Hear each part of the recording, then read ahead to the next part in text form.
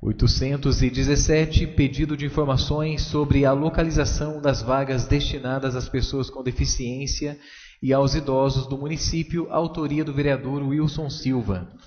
Em discussão, requerimento 817, com a palavra o vereador Wilson Rodrigues da Silva.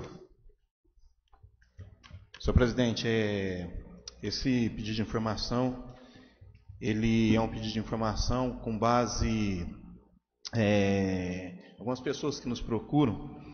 Por exemplo, nós olhamos ali na rua São Paulo e nós vemos que quando as áreas são destinadas aos idosos, aos deficientes, elas ficam muito próximo da área que é de estacionamento de motos.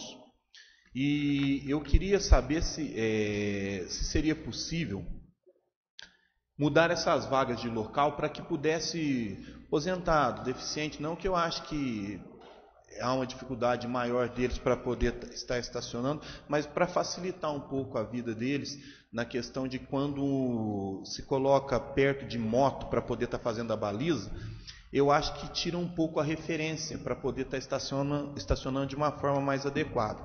E às vezes as motos, quando são colocadas ali nas suas vagas, quando enche, elas chegam um pouco para frente. Chegando um pouco para frente, diminui-se o espaço para aquelas pessoas estarem estacionando. E se uma moto dessa é tocada e ela, ela cai, ela vai também é, afetar outras motos. Então vai fazer um estrago muito grande. Então, esse pedido de informação é para saber se seria possível fazer com que estas vagas fossem colocadas nas primeiras, vagas é, das esquinas das ruas. Por exemplo, na rua São Paulo com Assis, primeira vaga, é, as primeiras vagas são destinadas para os idosos, para os deficientes, ou as últimas vagas, para não ter é, que se fazer nenhuma manobra, entrar de uma vez, ou se não, a primeira vaga entra e faz uma manobra mais fácil.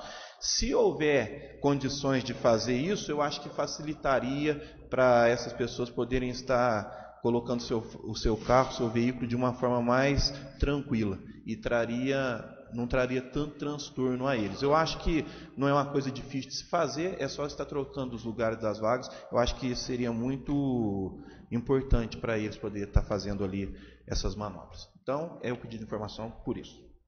Continua a discussão, requerimento 817. Em votação.